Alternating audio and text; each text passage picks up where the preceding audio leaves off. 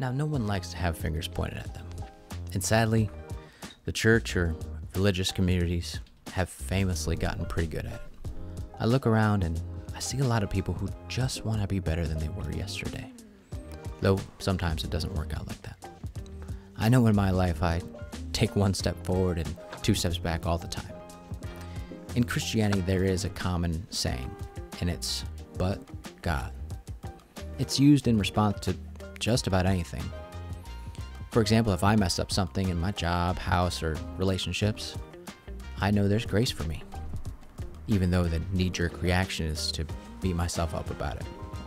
But God, He loves me right where I'm at and isn't about pointing fingers.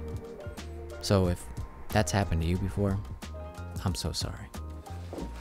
Some people, religious or not, are just stinkers. Or another way to look at it is they're just in a place where they're taking a few steps back right now.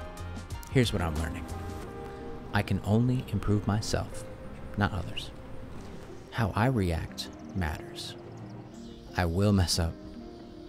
I don't know what others are going through.